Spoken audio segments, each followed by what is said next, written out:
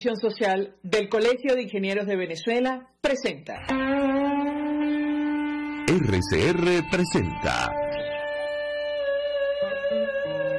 a María Alejandra Trujillo en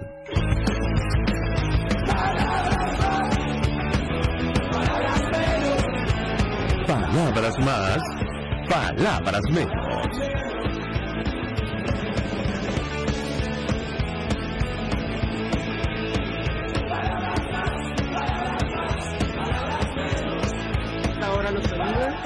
En la producción, Genesis Rodríguez Mario Villarreal. En los controles, Néstor Tobar, quien tendrá el inmenso placer de acompañarles, María Alejandra Trujillo. Saben, ustedes se pueden comunicar desde muy temprano a través de la cuenta en Twitter, arroba RCR750, seguirnos por el Periscope, por internet, rcr750.com y el resto de nuestras plataformas digitales a través de TuneIn y YouTube.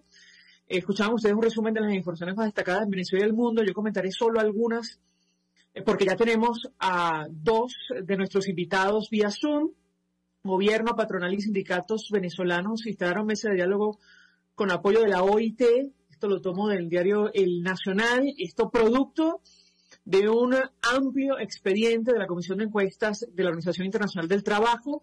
En un video transmitido durante la instalación del diálogo, el director general de la OIT, Guy Ryder, señaló que eh, se espera que el diálogo se traten todas las cuestiones pendientes sobre la aplicación de los convenios número 26, fijación de los salarios mínimos, 87, libertad sindical y protección del derecho de asociación y 144, consulta tripartita en la legislación y la práctica. Eh, bueno, nada que agregar ante la posición de eh, Delcy Rodríguez, que decía ayer, entre otras cosas, que no hace falta discusión de la contratación colectiva porque nosotros estamos del lado de los trabajadores en un país que hasta hace poquito tenía un salario mínimo de menos de dos dólares mensuales. Eh, ayer conversamos con unos dirigentes sindicales y expresaban la preocupación de que de alguna manera se intentara dejar de lado o blanquear incluso las violaciones sistemáticas de derechos humanos eh, contra los trabajadores, la persecución, en muchos casos que merecen ser elevados, eh, nos han dicho, ante la Corte Penal Internacional. De esto vamos a hablar ampliamente la mañana de hoy de la Corte, de lo que ha dicho el fiscal eh, Karim Khan, y tenemos dos invitados muy especiales iniciando el programa. Nos acompañan vía Zoom Tamara Tarasiuk, directora en funciones para las Américas de Human Rights Watch. Le agradezco profundamente recibir nuestra comunicación. Bienvenida, buenos días. Buenos días, ¿cómo estás? Muchas gracias por la invitación. Eh, también nos acompaña el doctor Alfredo Aguilar, que es abogado de la familia del concejal Fernando Albán. Doctor, gracias por atendernos. Muy buenos días. Buenos días, María Alejandra. Gracias a ti. Pues yo iniciaría conversación con Tamara Tarasiu, que la veíamos ayer en algunas entrevistas, y le preguntaría para comenzar por qué la decisión del fiscal de la Corte Penal Internacional de continuar con la investigación sobre Venezuela envía un mensaje importante para las víctimas en su opinión. La escuchamos. María Alejandra, la situación en Venezuela es eh, de un país donde no existe una justicia independiente. La justicia no solo no investiga delitos y mucho menos violaciones de derechos humanos, sino que se usa para perseguir opositores. Lo que el régimen de Maduro intentó hacer fue tratar de convencer a la Fiscalía de la Corte Penal Internacional que estaban investigando y que no hacía falta que se metiese la Corte Penal Internacional porque alcanzaba con lo que estaban haciendo internamente.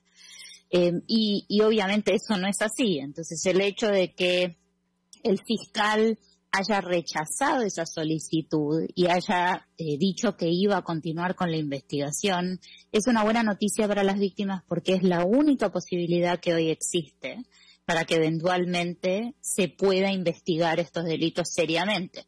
Y un dato importante es que la Corte Penal Internacional y la Fiscalía no solo investigan responsabilidad estatal, sino que investigan la responsabilidad individual de personas implicadas en los crímenes más graves a nivel internacional e investigan también la cadena de mando. Entonces esto abre la puerta eh, para la justicia, eh, para las víctimas de una manera que hasta hoy no existe en Venezuela Obviamente esto lleva tiempo y es difícil pedirle paciencia a quienes ya sufrieron tanto y encima están esperando hace muchísimo tiempo, eh, pero es una buena noticia en esta dirección larga hacia la justicia que todos estamos tratando de conseguir. Doctor Alfredo Aguilar, ¿cuál es su expectativa en lo personal como abogado de la familia del concejal Fernando Albán, uno de los casos más emblemáticos de violación a derechos humanos en nuestro país? ¿Qué puede decirnos? Lo escuchamos. Efectivamente, como señala señora Tarasiu, eh, este es un paso muy importante. la justicia internacional tiene mecanismos que procuran que dentro del mismo Estado se logre eh, aplicar un mecanismo de justicia y por eso da estas oportunidades procesales para que el Estado demuestre su capacidad para juzgar, su actitud y su intención de juzgar de acuerdo a los estándares exigidos internacionalmente. En el caso de Venezuela, eh, el régimen no ha logrado demostrar que tiene la capacidad, que tiene los estándares y posiblemente que ni siquiera esté investigando, ya que es por todos conocido que aún en los casos más emblemáticos, como el caso de Fernando Albán, el caso del, capitán Acosta Arevalo, eh, eh, el caso de Pernalete, el caso de Vallenilla, solamente se ha juzgado a personal eh, de base, funcionarios de bajo rango, y no se ha juzgado a los altos mandos, a la cadena de mando y a los verdaderos responsables de la persecución sistemática y de las muertes, de los encarcelamientos, de las desapariciones forzadas. Esto es un paso importante porque a pesar de los esfuerzos de Maduro, a pesar de que se firmó un memorándum de entendimiento que todavía el fiscal espera que se cumpla ese, memorándum de entendimiento, el propio fiscal no ha sido convencido de que en Venezuela se esté aplicando una verdadera justicia y por eso le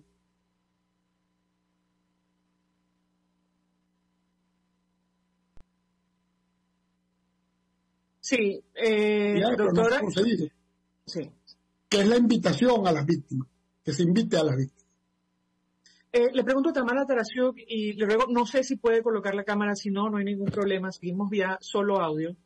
Pero tengo que preguntarle por qué el argumento que presentó el representante de, de Nicolás Maduro para evitar que esta investigación continuara es que, bueno, en Venezuela se pueden juzgar eh, estos crímenes. Yo le pediría un comentario al respecto porque muy poco se ha avanzado, al menos a la luz del documento que trascendió del fiscal eh, con relación a estos casos emblemáticos, al menos los casos que están en esta investigación, en este expediente sobre Venezuela en la Corte. ¿Qué puede decirnos? La escuchamos. A mí lo que me parece más interesante, pero una de las cosas más interesantes de lo que dijo la Fiscalía que el régimen de Maduro no le había presentado información nueva. Dijo, lo que a mí me han dicho, ya me lo dijeron y ya dije que no están investigando en Venezuela sobre la base de esta información, entonces no tengo nada nuevo que evaluar. Y otro dato interesante es que eh, las autoridades presentaron información sobre estas reformas judiciales que están avanzando. Y la fiscalía dice yo tengo que evaluar si se aplica lo que ellos llaman el principio de complementariedad, que quiere decir, si se investiga en el país no investigamos nosotros, porque es una corte de última instancia, eh, sobre la base de hechos actuales, no sobre la base de teorías hipotéticas de lo que pueda pasar con una reforma judicial. Entonces, eso nos lleva a la reforma judicial. Si hoy no hay información sobre que estén investigando, qué es lo que está pasando con esta supuesta reforma judicial que están avanzando desde el oficialismo en Venezuela. Y no hay ninguna garantía de que esas reformas vayan a efectivamente asegurar la independencia judicial por múltiples motivos, pero te doy un par. el comité de nominación, quienes nominan a los nuevos integrantes del Tribunal Supremo de Justicia, está compuesto mayormente por legisladores de la Asamblea Nacional, que fueron electos en elecciones que fueron ampliamente cuestionadas por la comunidad internacional por no ser ni libres ni justas. Entonces tiene una composición que no garantiza que se vayan a elegir a candidatos independientes, por un lado. Y por otro lado, si bien la constitución venezolana lo prohíbe, quienes hoy están en el TCJ, que es un TCJ que no ha actuado como un freno al Poder Ejecutivo, que incluso ha avalado políticas y prácticas del gobierno que violan derechos humanos, hoy pueden reelegirse en este nuevo TSJ. Entonces no hay ninguna garantía que esta reforma judicial vaya a cambiar sustancialmente las cosas. Y, recordemos que estamos ante un problema de falta de independencia judicial que tiene casi 20 años. Esto empezó con el 2004, con la reforma de la ley orgánica del TSJ, y se fue degenerando la justicia en Venezuela hasta lo que hoy es. Es absurdo pensar que con esta reforma que tiene estos problemas se vaya a cambiar el escenario radicalmente. Y eso es lo que dice el fiscal eh, en, las últimas, en, el último documento que presentó ante la sala de cuestiones preliminares, que ahora tiene que decidir para que pueda avanzar la investigación. Pero es que además, eh, sobre el avance de investigaciones en Venezuela, en el caso de Fernando Albán, recuerdo cuyo cuerpo en teoría cae del piso décimo del el SEBIN, del edificio del SEBIN en Plaza Venezuela, los supuestos autores materiales o los responsables, supuestos responsables, eh, ahora mismo se encuentran en libertad, ¿correcto, doctor Aguilar? Lo escuchamos. Sí, es correcto. Eh, allí se hizo un, un, parapeto, una simulación de justicia, ya que se insistió en la tesis del suicidio y se incorporó el homicidio, pero con el calificativo de culposo, como que si fue un accidente. Y estas personas, primero, estuvieron siempre en el SEBIN, lo que, lo que implica, y se sabe que tienen absoluta libertad, o sea, simplemente están allí eh, como si estuvieran trabajando. Ahora, yo tengo que preguntarle eh, a ambos, porque efectivamente se ha creado una expectativa en torno a la posibilidad de que se escuche a las víctimas. Figura en el documento presentado, el último documento presentado por el doctor Karim Khan. ¿Qué puede decirnos Tamara Taracción acerca? Eh, eh, perdón, no te oigo, Mariana. Perdón, doctor, es que mm, se pierde un poquitico la conexión a Internet, por eso lo interrumpí. Pensé que había terminado. Pero quería conocer la opinión de ambos sobre el tema, la posibilidad de que se escuchen a las víctimas en esta audiencia que en teoría se va a celebrar en la sala de asuntos preliminares en torno a la continuación de la investigación sobre Venezuela. ¿Qué puede decirnos Tamara Taraxir? La escuchamos. Es indispensable que eso ocurra, que exista acceso a las víctimas, a sus abogados, a la sociedad civil, a quienes estamos interesados en que se haga justicia en estos casos, eh, porque va al corazón del trabajo de la Corte Penal Internacional y de que las víctimas puedan tener acceso a la justicia. Entonces creo que eso es una de las cuestiones más fundamentales que tienen que ocurrir eh, en los próximos pasos.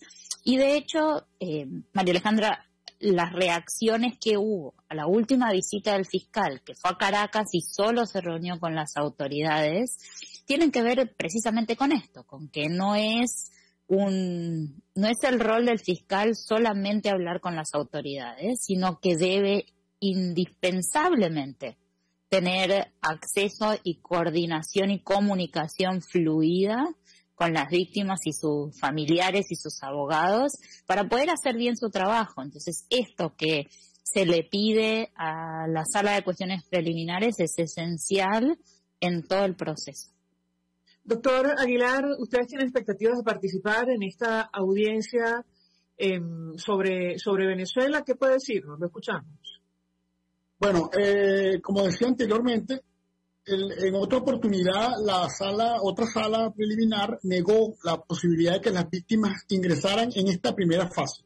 Eh, tendremos que esperar, obviamente, si, si la sala acepta esta intervención de las víctimas, vamos a estar presentes. Ya nosotros hemos presentado en el año 2020 un informe completo del caso a través de, de ONGs eh, autorizadas y por supuesto que vamos a estar presentes en cualquier etapa donde se permita que de forma ordenada, sistemática, las víctimas puedan participar.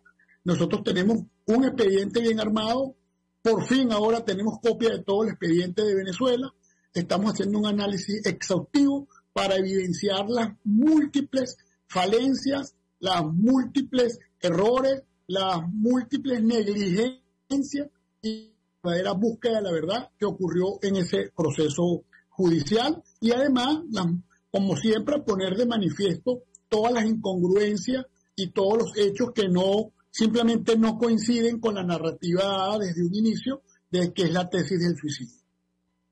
Eh, Tamara Taraxiuk, eh, para, para finalizar tengo que preguntarle porque eh, la veía y expresaba preocupación o al menos eh, entendía la preocupación que generó la, forma en la cual se desarrolló la última visita del fiscal a, a Venezuela, el anuncio sobre la instalación de una oficina eh, en nuestro país. ¿Qué puede decirnos sobre este tema? ¿Cuál es su eh, expectativa? Porque, digamos, existe la idea de que la oficina va a funcionar simplemente para apoyar a las autoridades venezolanas eh, en el marco de una posible reforma al, al Poder Judicial. La escuchamos. Tengo entendido que el propósito esencial de la última visita fue negociar los términos de la presencia en Caracas. Eh, y ese fue el motivo por el cual las reuniones fueron con autoridades y no con las víctimas o con la sociedad civil. La imagen no fue buena porque lo que transmitió fue que estaban negociando una presencia en Caracas sin oír a las víctimas. Yo creo que la mejor lectura es que la Fiscalía tiene dos canales paralelos de trabajo. Uno es la investigación sobre posibles crímenes contra la humanidad, que es el corazón de lo que la Fiscalía debería estar a hacer y su mandato esencial. Y otro camino que es evaluar las reformas judiciales, la cooperación, establecer si estos intentos de reforma eh, son consistentes o no con los estándares internacionales. Eh, a mí lo que me parece es que es esencial que esa presencia en Caracas y el trabajo de la Fiscalía se concentre en la investigación y que permita tener un acceso más directo a las víctimas, a los familiares, a los expedientes, a lo que está ocurriendo en Venezuela para avanzar con el propósito central de la Fiscalía, que es investigar. No puede ser un vehículo para darle legitimidad a las autoridades y a una supuesta reforma judicial que hoy no nos da ninguna garantía de nada, pero que seguro no permite que las víctimas tengan acceso a la justicia. En la medida que así sea, que la presencia en Caracas sea para investigar y cumplir con ese rol esencial de la Fiscalía, eh, puede ser una buena noticia. Eh, creo que el equipo de la Fiscalía tiene que tener bien claro qué es lo que está haciendo en Caracas y cómo lo va a hacer para evitar eh, malentendidos como los que se dieron en función eh, de su último viaje a Caracas. Tamara Taransiuk, un millón de gracias por atendernos, acompañarnos estos minutos. Eh, la libero, sé que tiene compromisos. Doctora Aguilar, le ruego permanezca unos minutos más. Al regreso quisiera ahondar en este expediente que ahora tienen en su poder. Gracias, un millón de gracias por atendernos. Le ruego permanezca unos minutos más, doctora. Al regreso seguimos con esta conversación. Ya venimos. Usted escucha Palabras Más Palabras menos en RCR 750 AM. Puede seguirnos en nuestras redes sociales. En Twitter, arroba RCR750 la radio que se ve. Mensaje del ingeniero José Peraza, tesorero del FON 3CIB. Estimado colega ingeniero arquitecto y profesional afín, el Colegio Ingeniero de Venezuela y el Fondo de Previsión Social, preocupado por la salud de tu familia, ha diseñado un sistema de salud integral que coloca a tu disposición y que contiene asistencia primaria de salud, ambulancia, hospitalización, cirugía, oftalmología, dermatología, fisioterapia, psicología, odontología, farmacia y funeraria. Para mayor información visítanos a nuestros portales 6b.net.be, compre 6b.net.be, Colegio de Ingenieros de Venezuela construyendo el futuro. Mis amigos, una empresa comprometida y responsable con su personal es una empresa segura y Produzca es la compañía pionera en Venezuela que ofrece la mayor cantidad de equipos de comprobada calidad para garantizar la seguridad integral de toda la nómina industrial de cualquier empresa. El catálogo de Produzca es inmenso, todo tipo de guantes, cascos, accesorios y productos varios de protección para tu personal. Más de Produzca en www.produzca.com. Produzca Seguridad en tu empresa de los pies a la cabeza. Contigo. Que les habla Eduardo Batistini de Primero Justicia.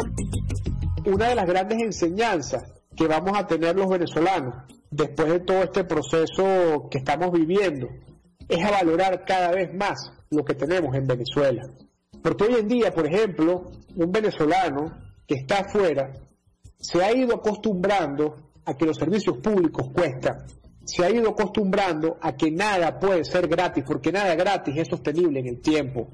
Y yo espero y aspiro que cuando vayamos a Venezuela, la reconstrucción de nuestro país, no solamente es una reconstrucción física de la destrucción que ha hecho el chavismo en la infraestructura y en la economía venezolana, sino también vayamos a una reconstrucción de la forma de pensar y de cómo nosotros afrontamos el ser ciudadanos realmente en el marco de un país que necesita de una ciudadanía que colabore y que sea parte de la solución y no sea parte del problema.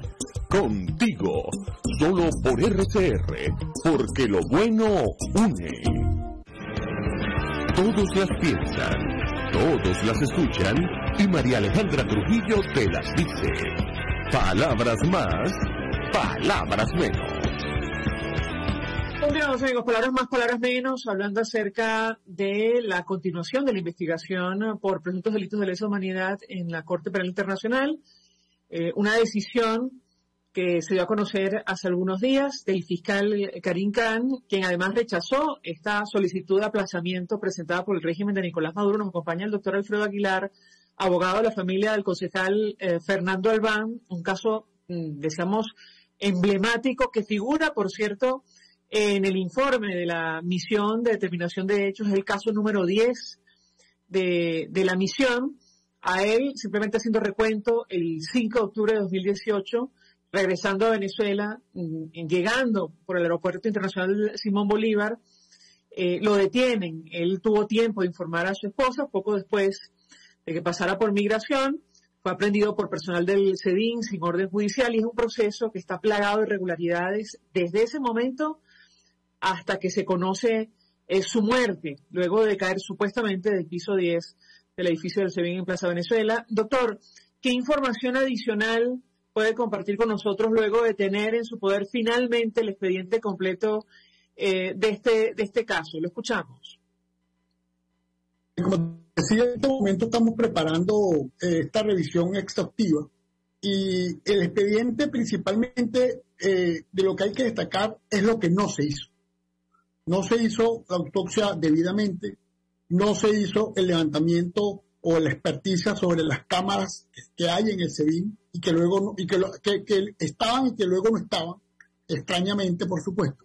El hecho, como, hemos dicho en otras oportunidades, la narrativa de, las esposas, que eh, algunos funcionarios dicen que está esposado, otros dicen que no, eh, al final el cuerpo cae supuestamente sin, sin esposas, y eh, principalmente también lo que no se hizo, lo primero que no se hizo es que el fiscal Tarek William Saad debió haberse inhibido por haber emitido opinión. Esa es una, una regla clásica del derecho de que el que está investigando no puede eh, emitir la opinión eh, preliminar porque ya está eh, dañando, ya está empañando la investigación. Y nosotros recusamos a Tarek William Saad. Pedimos la intervención del defensor del pueblo, tampoco intervino el defensor del pueblo cuando debía hacerlo, ya que eh, habían funcionarios públicos involucrados en la, como, como posibles perpetradores.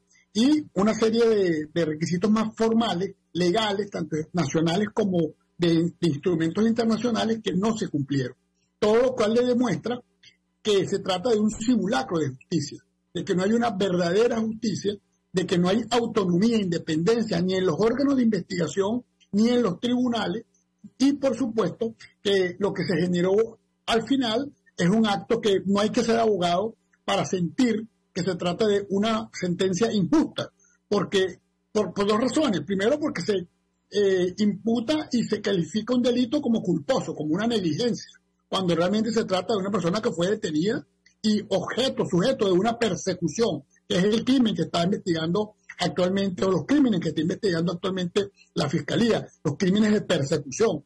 Y por, otro lado, se sabe, es obvio, que no hay allí, no está el director del SEBIN, no está ni siquiera el comisario, que era el jefe de la, de la unidad donde estaba apresado el concejal Albán, no está el director del SEBIN, no está el ministro de Relaciones Interiores, no está el presidente de la República, que es lo que quiere y lo que debe investigar el fiscal.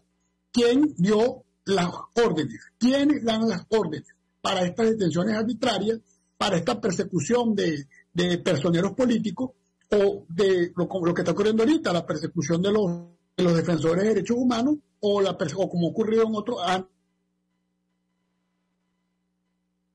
Sí, tenemos problemas con el Internet, a veces se queda con del doctor Aguilar. Usted mencionaba la, eh, las experticias eh, forenses. Eh, en el informe de la misión de determinación de hecho figura que la unidad de medicina forense emitió un certificado en ese momento de función a la familia el mismo día. La causa de la muerte se registró como traumatismo cranoencefálico severo, shock hipovolémico secundario, traumatismo toracoabdominal. Eh, entre otras cosas. Y eh, más tarde, cuando solicitaron certificado con fecha 9 de octubre, allí hubo algunos cambios. ¿Eso figura en el expediente judicial, doctor? Lo escuchamos. Sí, efectivamente, eso, eso figura en el expediente judicial.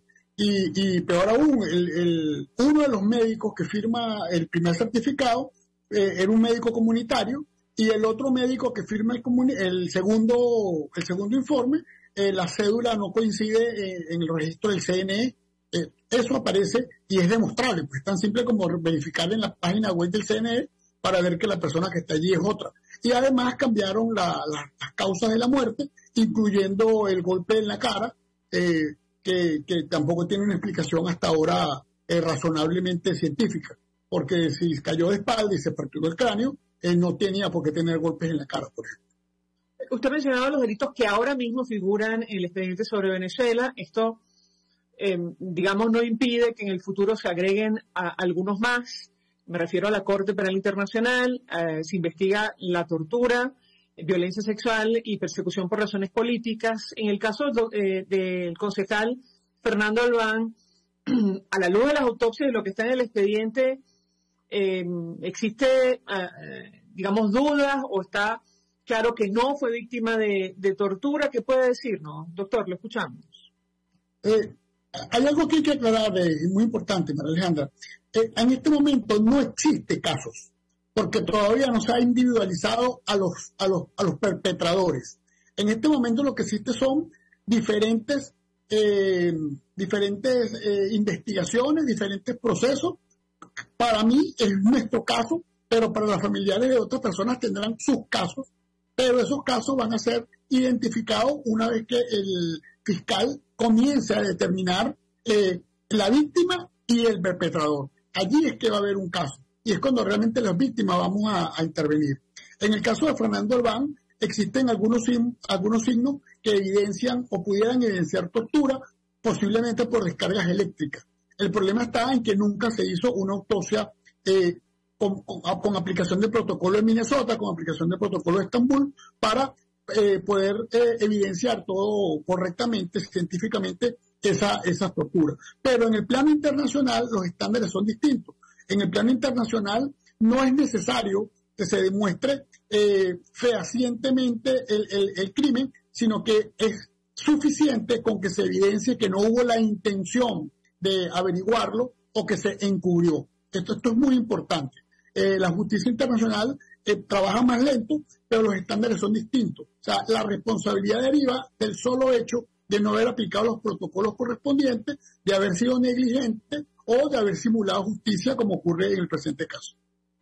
Ahora, eh, doctor, entendemos, yo insisto con esto de los delitos que, em, digamos, el caso del concejal Fernando Albán encuadraría en persecución por razones políticas, porque de momento no figura al menos hasta ahora, el eh, asesinato en el expediente en la Corte Penal Internacional. ¿Esto es correcto?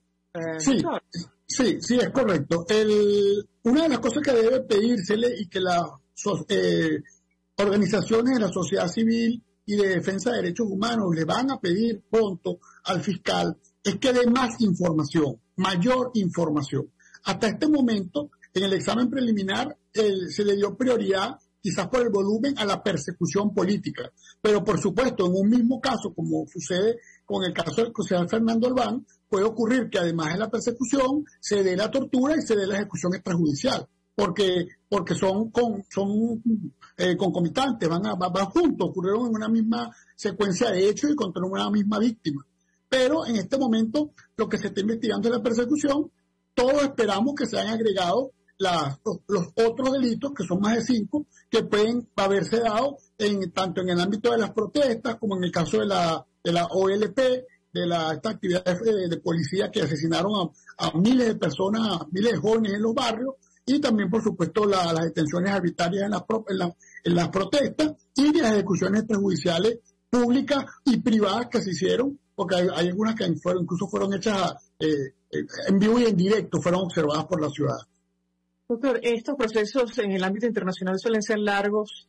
Siempre le pregunto, eh, ¿ustedes tienen expectativa, me refiero a usted y a la familia, al concejal Fernando Albán, de que habrá justicia, se va a conocer la verdad y se va sobre todo conocer quiénes fueron los responsables? Lo escuchamos.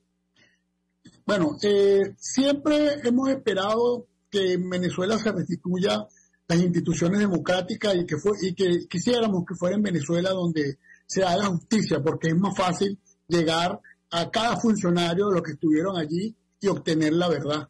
Sin embargo, mientras eso no ocurra, eh, seguimos trabajando con las, con las instituciones internacionales y, como te decía antes, estamos prestos, ya hemos presentado informe ante la, ante la Fiscalía y volveremos a presentar informes cuando seamos llamados eh, como víctimas y en cualquier oportunidad que se, nos, que se nos presente.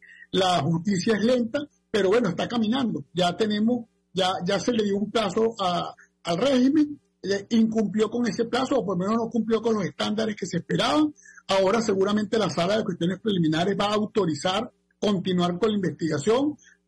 Veremos si se cumple o no se cumple lo de instalar la oficina en Caracas. Es muy importante que el fiscal eh, sea más claro, dé mayor información a las víctimas. Ahorita hay muchas personas llamando a las víctimas para pedirle que llenen un formulario. Venezuela todavía no tiene un formulario específico. Seguramente en cualquier momento van a, dictar ese formulario para que las personas, las víctimas lo, llenen con sus abogados, pero eh, hay, hay mucha desinformación y esa desinformación también puede demorar el proceso porque se puede llenar la fiscalía de, cientos, de miles de documentos que son difíciles de procesar si no se pone un orden y ese orden va a venir cuando el propio fiscal dé una información clara y dé una oportunidad para que las víctimas eh, puedan ordenadamente presentar sus diferentes casos, sus diferentes declaraciones y las pruebas que puedan tener a su alcance. Gracias, doctor Alfredo Aguilar, como siempre, por atendernos, acompañarnos, abogado de la familia del concejal Fernando Albán. Vamos a la pausa y al regreso venimos con más. Estás escuchando Palabras Más, Palabras Menos, por RCR 750 AM. RCR 750 AM, porque lo bueno une. Mensaje del ingeniero José Peraza, tesorero del FON Press CIB. Estimado colega ingeniero arquitecto y profesional afín, el Colegio Ingeniero de Venezuela y el Fondo de Previsión Social, preocupado por la salud de tu familia, ha diseñado un sistema de salud integral que coloca a tu disposición y que contiene asistencia primaria de salud, ambulancia, hospitalización, cirugía, oftalmología, dermatología, fisioterapia, psicología, odontología, farmacia y funeraria. Para mayor información visítanos a nuestros portales 6b.net.be, compre 6b.net.be, Colegio de Ingenieros de Venezuela, construyendo el futuro. Amigos, nace un nuevo concepto de farmacia en Venezuela. Farmacia CVS y más. Todo lo demás. En Farmacia CVS, en español CVS, lo consigues todo en un solo lugar. Salud, belleza, hogar y comida. Un nuevo concepto en todo para un nuevo concepto de vida. Farmacia CVS y más está en el CCCT nivel C1, frente a Beco y al lado del Banco Mercantil. En Instagram, CVS, Farmacia CVS y más. Todo lo demás. RCR 750 AM. Porque lo bueno une.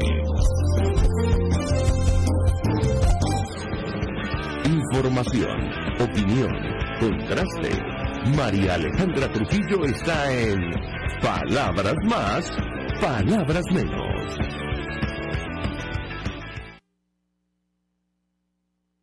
acerca de esta decisión del fiscal de la Corte Penal Internacional de continuar investigación sobre Venezuela, luego de rechazar la solicitud de aplazamiento presentada por el régimen de Nicolás Maduro, nos acompaña Molly de la Sota, que conoce perfectamente el tema. Le agradezco eh, profundamente recibir nuestra comunicación. Ella es hermana del capitán Luis de la Sota, eh, prisionero, eh, que ha sido víctima de tortura. El caso número 13, me parece, del informe de la misión de determinación de hechos. Le, agradezco, mm, insistimos, acompañarnos. Bienvenida. Muchísimas gracias, buenos días y gracias por este espacio, María Alejandra. Pues le pediría una primera reacción de su parte acerca de este anuncio que ha hecho el fiscal eh, Karim Khan, eh, insistimos, luego de rechazar esta solicitud de aplazamiento que presentaron las autoridades venezolanas. ¿Qué, qué puede decirnos? ¿Qué expectativa tiene usted en lo personal? La escuchamos. Bueno, si tenemos expectativas, siempre la hemos tenido con la parte de la justicia internacional, porque sabemos que en Venezuela no vamos a encontrar justicia. Y sobre todo por la actuación de este nuevo fiscal.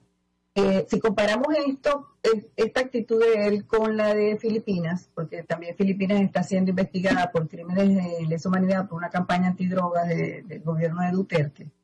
Eh, allí en ese caso, Filipinas solicitó el año pasado también una suspensión de la investigación, a pesar de que se retiró del Estatuto de, Roma y el fiscal eh, aceptó ese aplazamiento, me imagino por las pruebas o por los casos que están llevando a cabo. Sin embargo, en Venezuela no lo ha hecho así. Es decir, eh, vemos con seriedad eh, que, definitivamente las pruebas o los casos que habrá mandado la Fiscalía pues no, no fueron suficientes y no pueden ser suficientes porque no solamente eh, Tarek William está enviando información, también lo están haciendo informes de ONG, de derechos humanos, como también las mismas víctimas. Eh, nosotros estamos actualizando los casos continuamente ante la CPI y, este, por ejemplo, en el caso de mi hermano, mi hermano tiene una opinión favorable del Grupo de Detención Arbitraria de las Naciones Unidas, donde determinó que su detención había sido arbitraria. Y vamos a recordar que uno de los delitos que están siendo investigados por la Corte Penal Internacional es la detención arbitraria, que es un crimen de lesa humanidad. Y no solamente mi hermano, hay 10 militares que tienen esa opinión favorable de las Naciones Unidas y sin embargo siguen presos, detenidos sin juicio por más de tres años, que es lo que dice la ley, esta reforma del Código Orgánico Penal, dice que no puede estar más de tres años sin juicio preso y ellos siguen detenidos. Entonces, todos estos casos están siendo continuamente actualizados para dar la información correcta a la CPI. Eh, una de las cosas que alega el fiscal Karim Khan es que comunicó su decisión en la sala de asuntos preliminares de continuar la investigación sobre Venezuela porque tras examinar el fundamento de la solicitud de aplazamiento, llegó a la conclusión de que no se había presentado ninguna información nueva que justificara tal decisión. Yo le pedí un comentario al menos en el caso de su hermano, el retardo procesal sin hablar de la tortura y otros temas. Eh, es evidente que puede decirnos, la escuchamos. Claro, eh, lo, lo, que venía comentando, o sea, este, mm, nos da muchas expectativas de, porque Contrariamente a lo que mucha gente piensa, que se habló de que si la, la CPI va a ser una oficina o abrir una oficina en Venezuela, este, yo pienso que el comportamiento de este fiscal pues ha sido bastante estricto, ha sido muy bueno, conciliador también, porque por supuesto que la idea es que Venezuela coopere con esto y este, logró por lo menos en el memorando de entendimiento y logró que Venezuela aceptara una oficina de la CPI. Y, y de verdad para nosotros esto está muy bien.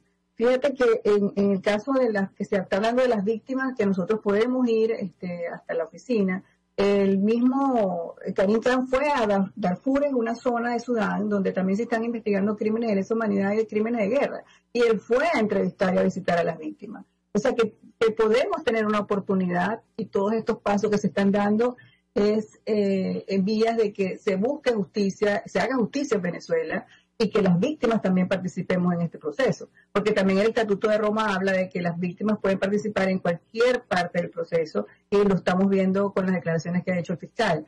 Es decir, este, de verdad que tenemos bastante esperanza, María Alejandra, en la justicia internacional y, tenemos que seguir denunciando y tenemos que seguir informando estas actualizaciones, porque fíjate, voy a hacer una denuncia. Mi mamá fue el primero de abril al Ministerio Público a hacer una denuncia sobre la situación de mi hermano, las torturas y toda esta parte de, de, que sigue detenido arbitrariamente a pesar de una decisión de las Naciones Unidas.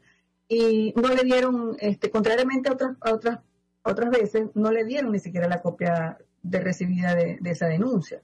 Es decir, y estamos pidiendo el, el, expediente de mi hermano, del Ministerio Público, de todos estos años de denuncia, y no nos los han dado. Es decir, ¿qué está cambiando? No ha cambiado nada. Pero si nosotros las víctimas no hacemos el esfuerzo de ir al Ministerio Público, de ir a la Defensoría, de meter documentos en el tribunal y de demostrar que nada ha cambiado, entonces este, tenemos que apoyar también la, gestión de la Fiscalía. María Alejandra, un llamado a las víctimas para que se apersonen al Ministerio Público, vayan a los tribunales eh, civiles y militares y eh, soliciten e introduzcan documentos que comprueben que en Venezuela eh, no están haciendo nada para que haya justicia. Ahora, sobre la, situación de su hermano, eh, ¿qué puede compartir con, nosotros? sabemos que ustedes estaban muy pendientes de, la salud del, capitán de la SOTA. ¿La escuchamos? Sí, bueno, mi hermano, por supuesto, por consecuencia de todos estos años de deterioro, estuvo dos años y diez meses en un sótano y ahora está bajo, sigue bajo la custodia de la agencia, pero en Fuerte Tiuna. Este, y al fin eh, lo trasladaron para hacerse unos exámenes porque tiene problemas, tiene sangre en la orina. Mi hermano presenta sangre en la orina y el informe del nefrólogo eh, dijo que definitivamente ya está en una insuficiencia renal grado 1 y además de que tiene varias patologías que no tenía cuando fue detenido. Entonces, este, esto también demuestra que, por supuesto, no hay ninguna intención de mejorar las condiciones de los presos políticos civiles y menos militares, es lo que siempre estamos denunciando. Y, bueno, y ahora luchando porque se cumpla esta parte de la detención arbitraria. O sea, no hay forma ni manera de, que esta gente eh, entienda de que eh, el hecho de ser militar no significa que no tienes derechos o que no, no tienes acceso a la justicia. Eh, en estos momentos hay 67 militares con más de tres años sin juicio. Y nosotros denunciamos que de los 111 de un registro que hicimos, 107 eh, fueron presentados en el tribunal torturados y hasta ahora no ha habido ninguna investigación sobre eso. En el caso de mi hermano, este, no han habido investigaciones sobre las, denuncias de tortura, de hecho aparecen en el mismo eh, expediente del tribunal, donde mi hermano declaró haber sido torturado. O sea, no es algo que ellos mismos lo pusieron en, la, en el acta y él denuncia a sus torturadores.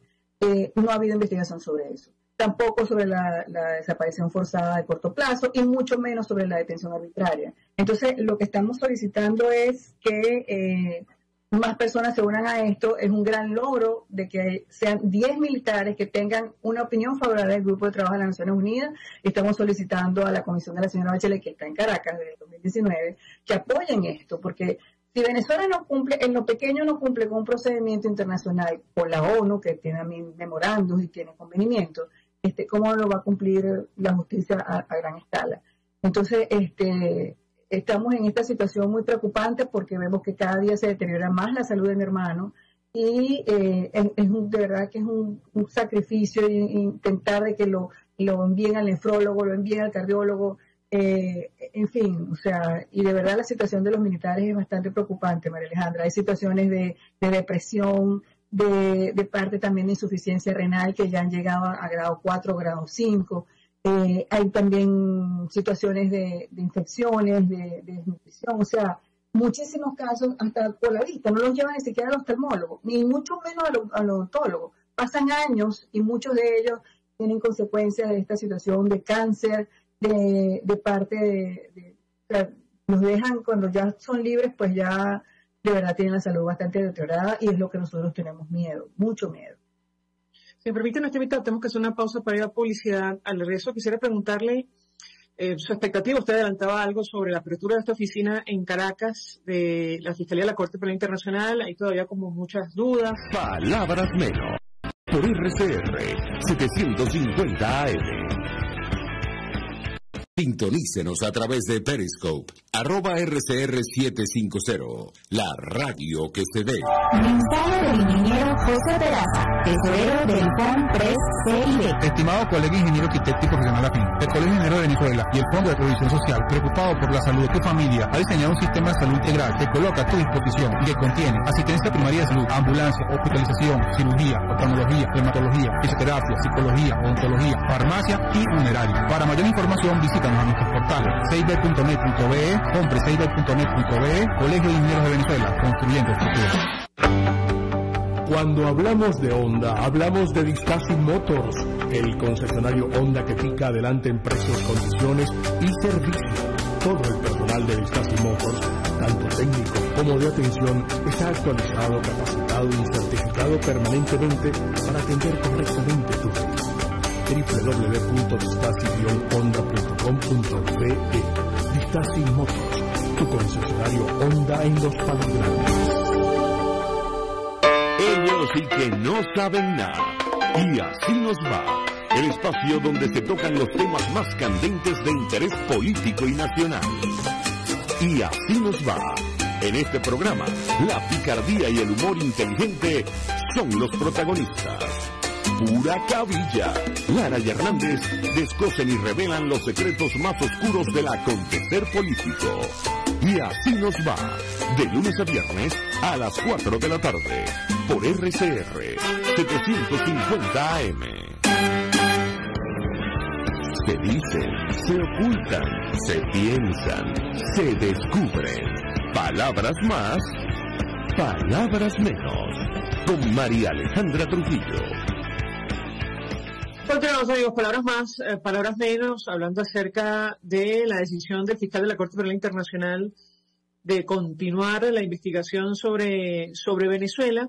Nos acompaña Molly de la Sota, eh, quien es hermana del capitán Luis de la Sota, el caso número 13 del informe de la Misión de Determinación de Hechos de Naciones Unidas sobre, sobre Venezuela.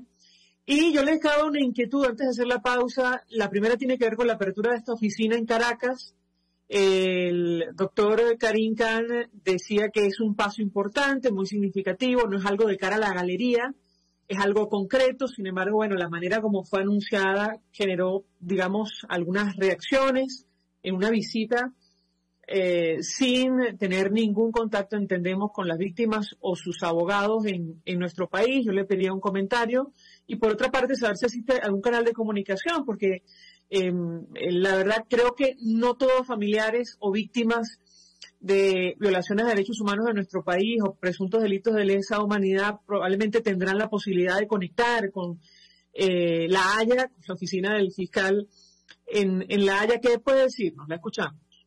Eh, sí, bueno, recordemos que Venezuela tenía el plazo hasta el 16 de abril para entregar esta información a pesar de que el fiscal, mm, según tengo entendido, hubo una notificación el año pasado de la apertura de la investigación y supuestamente tenían un mes y se les dio tres meses y total tú nos dices que son cuatro, pero llegó el 16 de abril y para el fiscal la información recibida por Venezuela no fue suficiente. Obviamente no lo es. Como ya comenté, en el caso de Filipinas aceptó suspender la investigación. En el caso de Venezuela no lo hizo y eso nos da muchísima esperanza a, a las víctimas y a los que estamos denunciando. Eso en primer lugar. Segundo, con la oficina, eh, tengo entendido que no es la primera vez que un país que está siendo investigado por la CPI, también este, ellos siempre intentan tener una oficina adentro, ¿no? Para que se les, eh, eh, se, les, facilite el proceso de la investigación. Y este, eso no nos preocupa que haya una oficina de la CPI, todo lo contrario, mejor para nosotros, más las víctimas, porque vamos a tener más acceso, no tienes que ir a La Haya, vas simplemente a Venezuela. Eh, además que eso, él ha, demostrado que tiene interés de acercarse a las víctimas, por lo que acabo de decir. Él fue hasta Darfur, en Sudán, y se acercó y habló con las víctimas. O sea, que, y, el de Estatuto de Roma también habla de que nosotros, eh, las víctimas, pueden participar en cualquier momento, mientras ellas lo decidan o lo quieran, del proceso de la investigación. Entonces, este, eso está bien, muy bien. Ahora, los rumores que había era que se estaba dentro del TCJ, que total nunca lo confirmó, ni siquiera la, Fiscalía lo, ha confirmado que es dentro de la oficina del TCJ, de la, del TCJ. Él lo que dijo era que Venezuela había aprobado la apertura de la oficina y que en eso estaba, ¿no? Eh, en fin, todas estas cosas nos dan mucha esperanza. Y con la relación de la Corte Penal Internacional, les voy a decir que ustedes pueden meterse, cualquier persona, eh, puede meterse en la página de la, de la CPI y allí solicita eh, un investigador y poner, y poner su caso. No hay respuesta, no le van a decir nada eh, de recibido ni constancia, pero ellos sí van a leer, porque la fiscalía lee todo lo que los informes que uno envía, tanto las víctimas como las ONG. Es importante enviar denuncias del caso. Estaba escuchando que unas ONG acaban de presentar 33 pasos todos los casos que se puedan tienen que ser presentados, todas las denuncias y todas las actualizaciones. Eh, mientras más información ellos reciban mejor. No es una caja negra, María Alejandra, yo pensaba que lo era y, a medida que me he ido metiendo en esto, pues mm, hemos eh, hecho ciertos contactos y no lo es. O sea, ellos están, la Corte tiene varias instancias, varios organismos, la Secretaría, está la, parte de la Fiscalía, y este, solamente metan en la página, sigan enviando información y estoy segura que las ONG de Derechos Humanos que están en Venezuela, que se han metido en esto, eh, van a ayudar a que todas estas inquietudes nuestras pues también lleguen a donde tengan que llegar, que es a la Fiscalía. Le decíamos a nuestro invitado anterior, abogado de la familia del concejal Fernando Albán, los procesos internacionales son largos. Eh, ¿Ustedes tienen eh, eh, esperanza, expectativa cierta de que habrá justicia, se va a conocer la, la verdad, los responsables en, el caso de, su hermano? ¿Qué, puede decirnos? Sí, cuando, hablamos, yo escucho mucho de, ver, mira, esto es un proceso largo, puede durar años, lo hemos visto, lo hemos visto en Filipinas, en Darfur, en todos estos casos en Afganistán. Eh, pero, pero la justicia llegará. Y el hecho de que sea largo o sea corto no debe perdernos la esperanza de que, de que el proceso está ya, ya está siguiendo su curso. Si fuese por eso no hubiésemos metido ningún tipo de denuncia a nivel internacional, porque de verdad que estos organismos internacionales son muy, muy lentos. La, la decisión del grupo de trabajo de atención arbitraria tardó dos años en el caso de mi hermano. En otros ha sido uno, en otros más. Pero si nosotros decimos, no, es que esto es largo, pues no lo vamos a iniciar. Y sí hay que iniciarlo, y sí hay que seguir insistiendo, porque como dicen, los crímenes de lesa humanidad no prescriben. Ahí está el caso este, lo menciono muchísimo porque, porque es así, el caso de Darfur. O sea, a pesar de que hubo un golpe de Estado, un gobierno de transición, en la misma, que se está hablando de que si los gobiernos de transición, hay que perdonar a la gente. En el mismo acuerdo este nacional que se hizo allí en Sudán, se, se, acordó que, lo, que la, la parte de la CPI se iba a respetar o sea, que ellos iban a, colaborar para que se hiciera justicia con todo este proceso que viene de la Corte Penal Internacional por crímenes de guerra y de, lesa humanidad. Y lo mismo tiene que hacer Venezuela y nuestros dirigentes políticos, que no se les olvide que Venezuela está siendo eh, eh, investigada por crímenes de lesa humanidad y que lo mencionen, por torturas, violaciones sexuales, detenciones arbitrarias. Este debe ser el discurso, buscar la justicia y, e incansablemente hacerlo todos los días de la vida hasta que esto llegue a su fin y podamos tener por lo menos eh, el primer juicio. En otros casos esos juicios han tardado 10 años, 20 años, pero, pero se están haciendo juicios. La semana pasada acaba de empezar uno en la Corte Penal Internacional. Eh, entonces, no, no nos, yo veo que hay muchas cosas cuando digo, bueno, pero es mucho tiempo, es muy largo. No, no, no. O sea, no hay que rendirse, no hay que, hay que tener esperanza, hay que seguir trabajando en eso porque eh, tenemos que trabajar. Las víctimas han trabajado muchísimo, de verdad que han tomado riesgos y, hay que seguir. Y además han llegado muy lejos. un, millón, eh, un millón de gracias por eh, atendernos, acompañarnos como siempre. Molly de la Sota es hermana del capitán Luis de la Sota. insistimos en el caso número 13 del informe de la misión de determinación de hechos. Gracias. Nosotros nos despedimos y lo hacemos a nombre de Carmen Estares de la Dirección General de la Estación, en la gerencia de producción Willy Chacaya, en la producción Génesis Rodríguez y Mario Villarreal, en los controles Néstor Tobar, quien tuvo el placer de acompañarles, María Alejandra Trujillo. El Fondo de Previsión Social del Colegio de Ingenieros de Venezuela presentó. RCR presentó Palabras más, palabras menos. RCR 750 AM.